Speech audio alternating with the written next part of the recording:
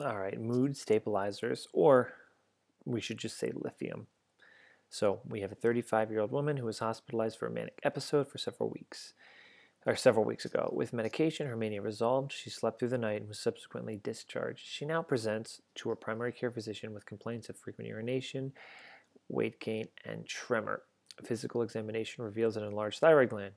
The drug responsible for these adverse reactions also causes which of the following congenital anomalies in a fetus if taken by a pregnant mother? So, what is the congenital anomaly that is seen in a patient who has mania, who has now had frequent urination, weight gain, and tremor? So, she's most likely been placed on lithium. So, what is the congenital anomaly that's seen in patients taking lithium who are having babies? The answer is Ebstein's anomaly. Ebstein's anomaly, you just have to remember, is the congenital anomaly that you can see in patients who are pregnant taking lithium.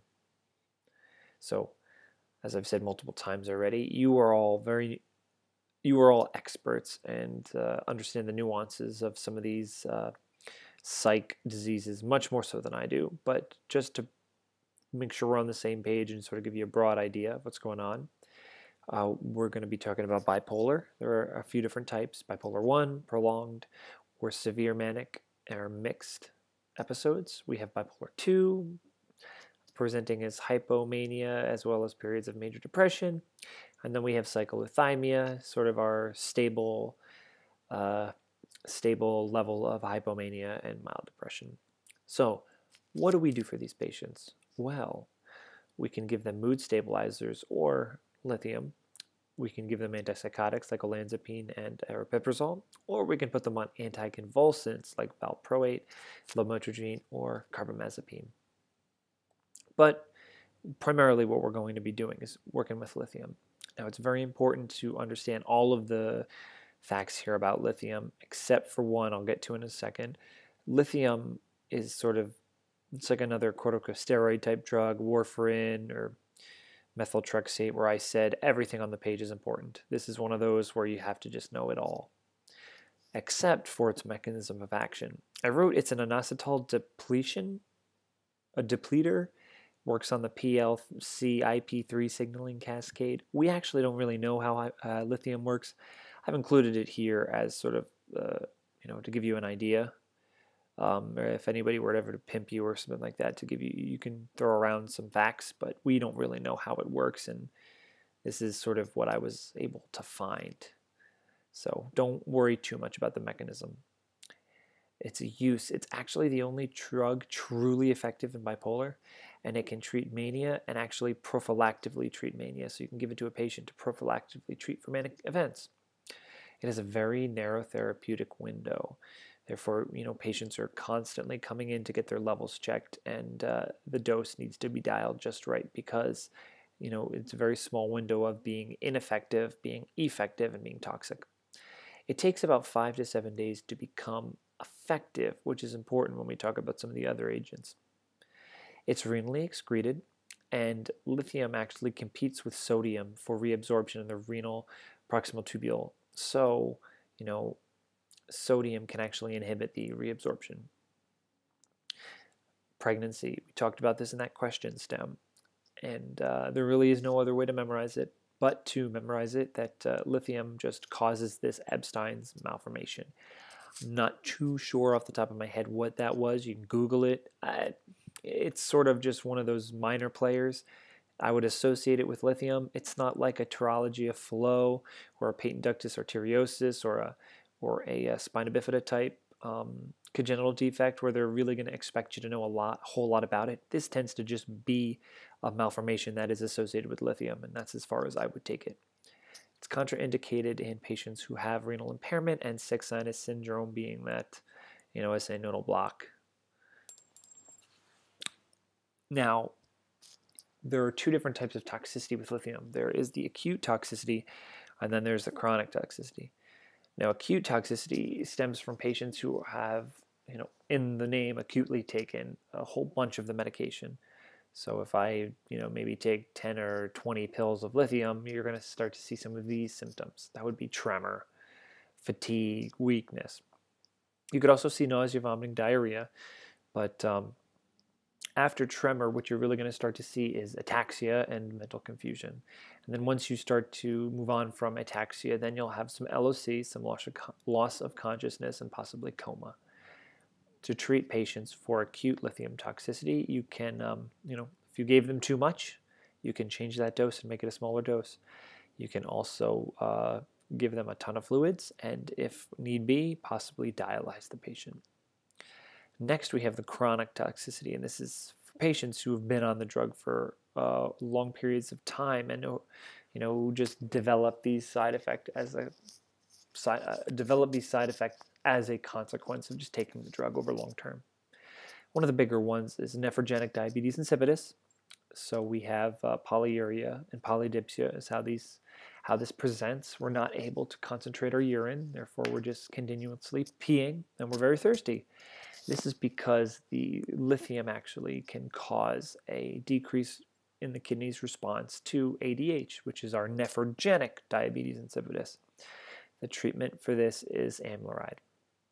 It can also cause lithium, that is, thyroid enlargement, chronic interstitial nephritis, a glomerulopathy, and edema from NA retention. Because if we are, uh, yeah, because of NA retention.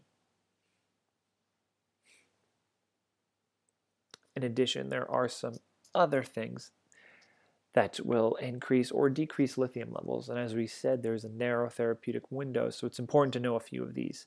I would say the biggest one to know is how salt will increase or decrease lithium levels. So things that will increase our lithium levels are less salt intake. Now, this can be explained because, as we said before, uh, sodium and lithium compete at the proximal, tubule, proximal convoluted tubule for reabsorption. So if salt and lithium are competing, if we take less salt in, more lithium is going to be reabsorbed because there's less salt in that proximal convoluted tubule. Uh, lithium levels can also be increased by NSAIDs, ACE and ARBs, and thiazide diuretics. Things that can decrease sodium level, lithium levels, I'm sorry, are an increased salt intake. As we just explained, if you are competing at the proximal convoluted tubule with lithium and sodium, if you have more sodium, now the competition is sort of going to be shifted into the sodium category, and so more sodium is going to get reabsorbed. Therefore, your lithium is going to get peed out. Uh, caffeine and theophylline can also both decrease lithium levels. And a last few bit of our anti-manic drugs, we have um, uh, valproate, valproic acid, and divalproex. Those are all the same drug, but um, people tend to throw around that word around, throw that word around a lot, and it isn't a brand or generic thing. People just like to, especially doctors and nurses, they like to refer to valproic acid as many different things. So this is one you actually do have to know because you will get tricked on. You'll see, you'll see divalproex, and you'll go, what, you know, what is that? And it's it's actually just valproic acid or valproate. It's all the same. So I wouldn't worry too much about the mechanism. It's a voltage gated sodium blocker but it can also increase GABA concentration by inhibiting GABA transaminases, breaking down GABA.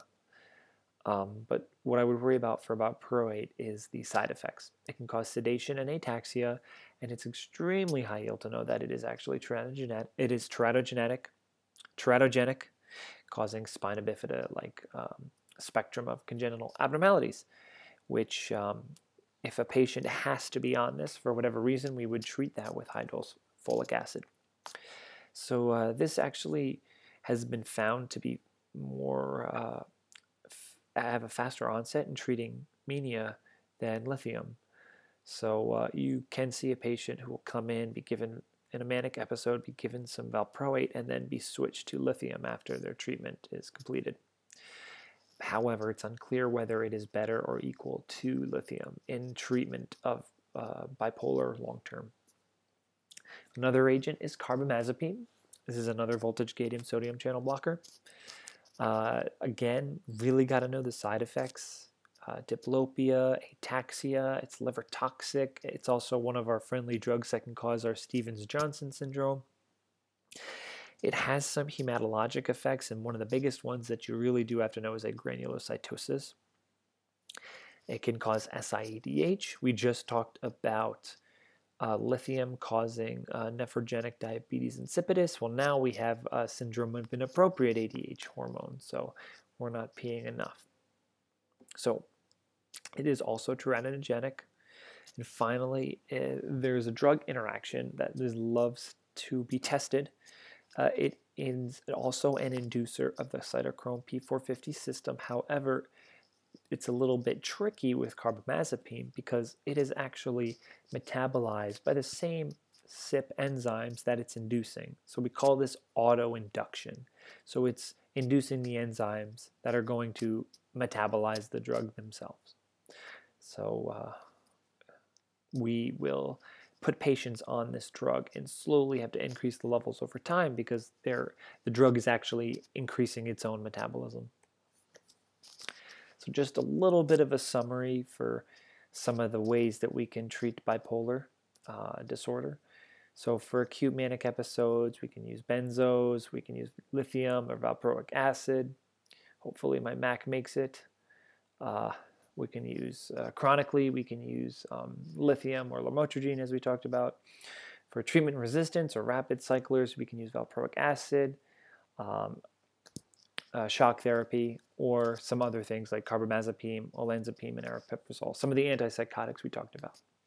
Finally, the biggest one of the bigger points is for our depressive episodes, we just want to make sure that we don't use an SSRI alone. SSRIs on their own when treating a depressive episode that is part of a bipolar disorder can precipitate mania. And that's something we do not want.